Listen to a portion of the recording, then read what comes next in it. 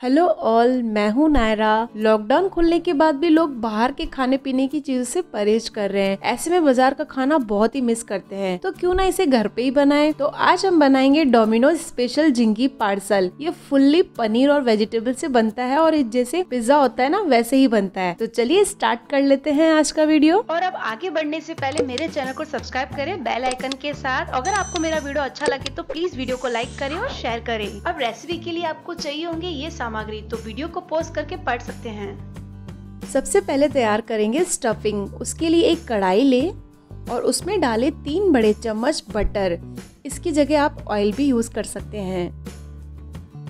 Next एक बड़ा चम्मच कटी हुई लहसुन और उसे थोड़ा सा फ्राई कर लें।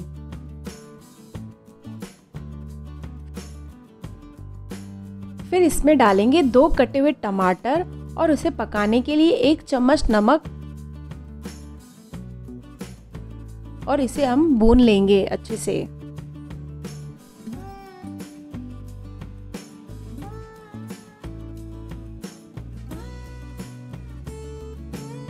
नेक्स्ट फिर इसमें डालेंगे एक कटा हुआ प्याज और थोड़ा हल्का इसे ब्राउन होने तक भून लेंगे।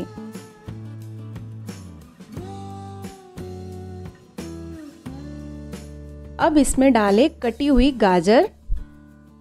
और एक कटा हुआ शिमला मिर्च और इन्हें सौते कर ले अच्छे से।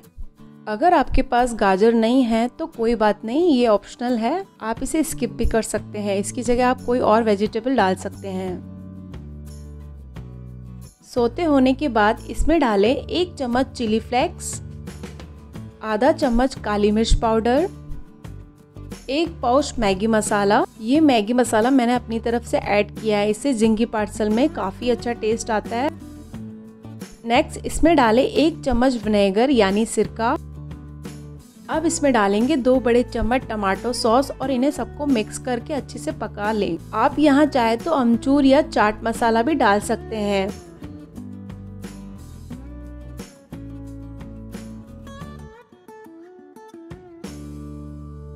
पकाने के बाद इसमें डालें 100 ग्राम कटा हुआ पनीर और थोड़ा सा पानी।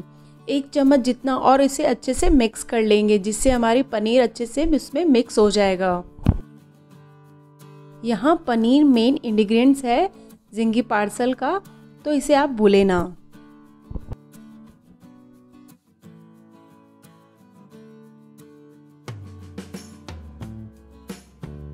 जब ये रेडी हो जाए तो इसे बाउल में ट्रांसफ़र कर ले और ठंडा होने के लिए छोड़ दें।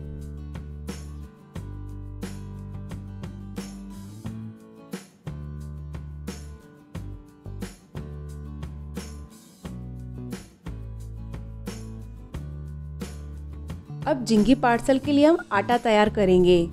तो सबसे पहले हम एक बॉल लेंगे। उसमें डालें एक बाउल मैदा।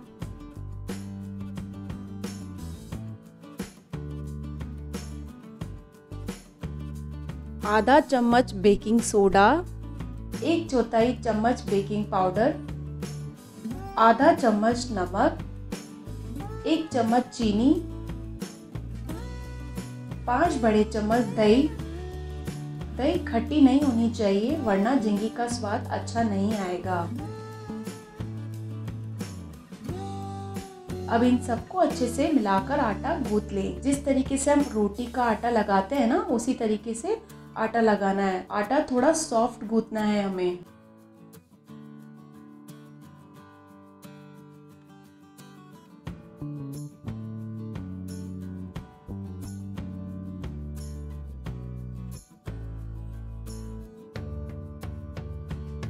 गूंथने के बाद इसमें चार पाँच बराबर हिस्सों में हम लोइया निकाल लेंगे।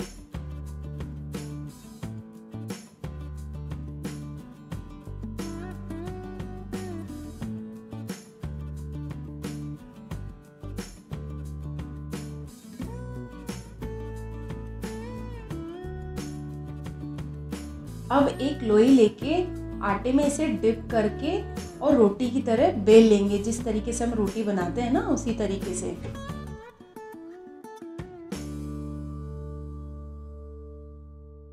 ध्यान रहे, इसे ना ज़्यादा मोटा बेलना है और ना ही पतला। थोड़ा इसे थिक रखना है।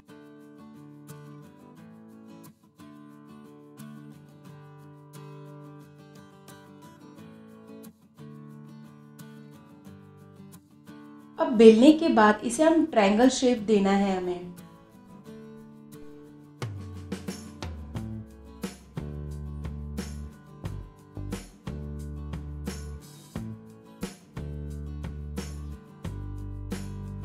तो देखिए हमें इस तरीके से ट्रायंगल शेप देना है। बिल्कुल इसी तरीके से। शेप देने के बाद इसे पानी से अच्छे से कवर कर ले ता, ताकि बेक होने के टाइम स्टफिंग जो है इसमें खुले ना तो अच्छे से पानी लगा लेंगे और हल्के से इसे प्रेस कर लेंगे।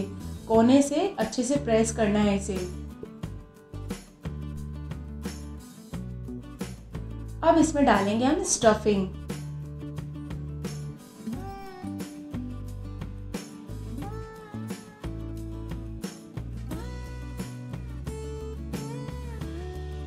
और थोड़ा चीज़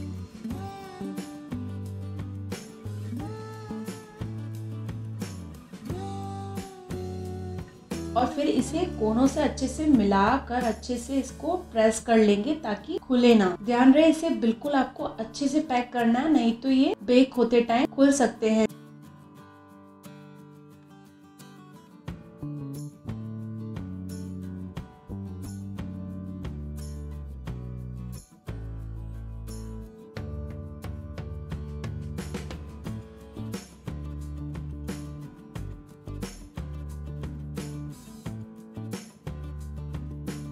अब बाकी बनाने से पहले अब कढ़ाई ले, उसमें एक कटोरी नमक डाले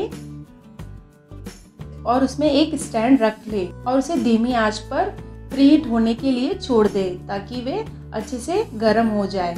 तो चलिए एक को फटाफट से बना लेते हैं।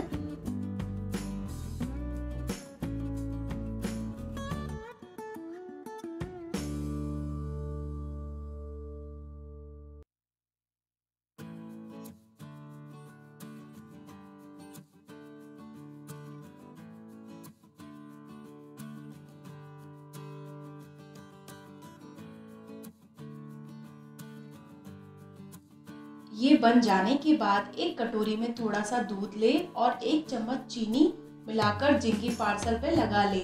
इससे क्या होता है कि हमारे जिंगी पार्सल बहुत सॉफ्ट बनते हैं और कलर भी बहुत अच्छा आता है और जल्दी ही बेक हो जाते हैं।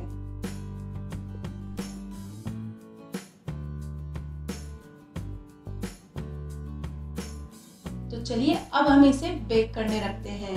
अब इसे हम प्री हीट कढ़ाई में 25 से 30 मिनट तक बेक होने के लिए छोड़ दें अगर आप ओवन में बेक कर रहे हो तो 180 डिग्री पर 15 से 20 मिनट तक बेक करें तो देखिए, बिल्कुल अच्छे से बेक हो चुके हैं हमारे जिंगी पार्सल और बहुत दिखने में अच्छे लग रहे हैं। तो चलिए हम इसे ठंडा करने रखते हैं। बेक होने के बाद इसे कढ़ाई से निकाल ले। इसमें थोड़ा सा बटर लगा ले।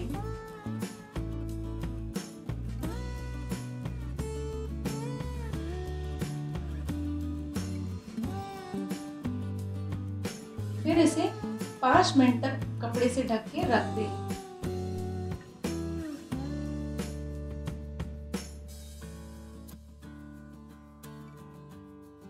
और इसी तरीके से बाकी भी बना ले।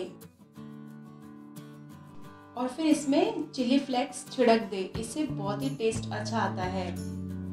जिस तरीके से हम डोमिनोज में खाते हैं ना, उस तरीके से। अब आपके जिंगी पार्सल रेडी है तो इसे तोड़कर चेक करते हैं कि कैसा बना है।